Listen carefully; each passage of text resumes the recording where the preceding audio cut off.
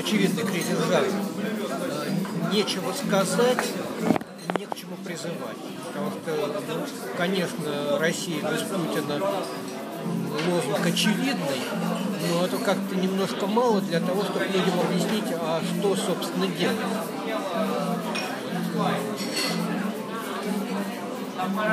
Протест топчется на месте,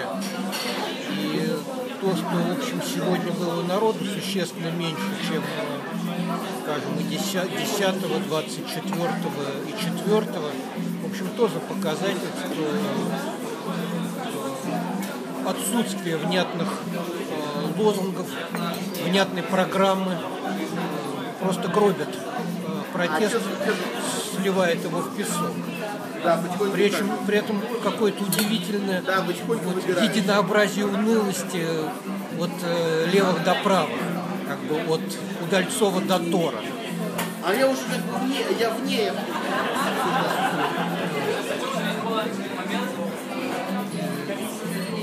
Есть такое впечатление, что э, психологически проиграли.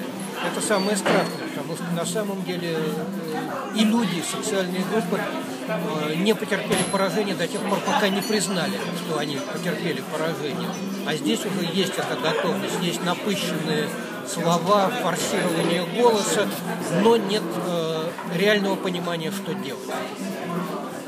Поэтому э, это главная проблема нужно искать новую аудиторию, до которой нам пока не удается докричаться. В значительной мере это та аудитория, на самом деле, к которой апеллировал Путин перед выборами, которую он гнусно обманывал.